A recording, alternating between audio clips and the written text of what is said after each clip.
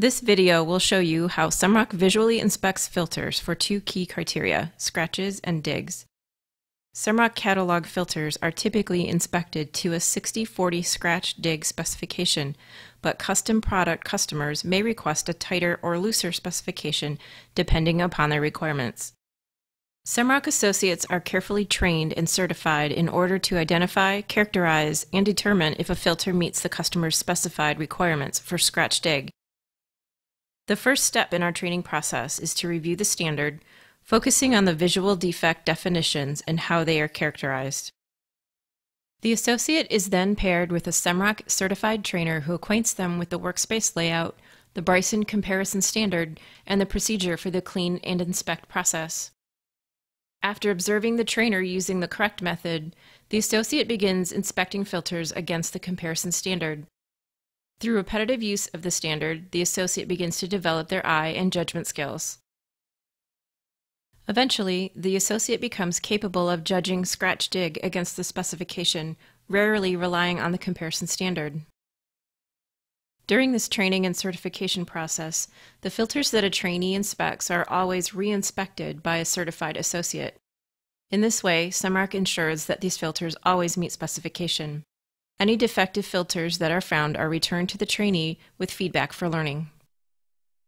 As defined by the American National Standard Institute, either a 40 watt incandescent lamp or two 15 watt fluorescent lamps are used to illuminate the test units against a black background. Filters are inspected by eye and compared to the comparison standard. For all inspections, the parts are held under the lamp at 45 degrees relative to the associate's eye. Under these conditions, a visual inspection of each filter is performed. This assures that each filter is judged using visual defect criteria as defined by the standard. Defects include edge and corner chips, scratches and digs, or protrusions. The ANSI standard defines a scratch as marking or tearing of the optical surface that has a V-groove contour that is significantly longer in dimension than it is wide. It is a long imperfection. Scratches are characterized by their width, and the customer defines their requirement by specifying the maximum width for a scratch located within the clear aperture of the filter. For example, a 60 scratch designation establishes 60 microns as the maximum allowable width of a scratch located in the clear aperture of the filter. This is based on a comparative rather than a measure determination. The ANSI standard defines a dig as a round and sometimes irregular shaped hole or void, which can include grinding pits or opened entrapped bubbles.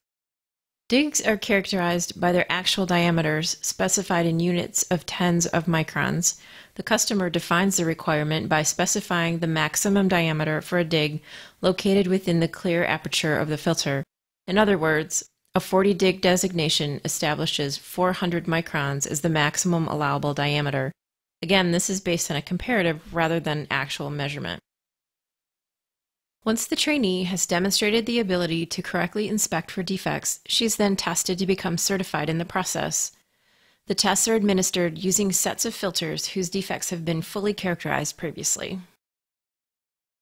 An associate becomes certified once 90% proficiency on these tests is achieved, Associates that have been previously certified are retested annually using the standard defective filter sets.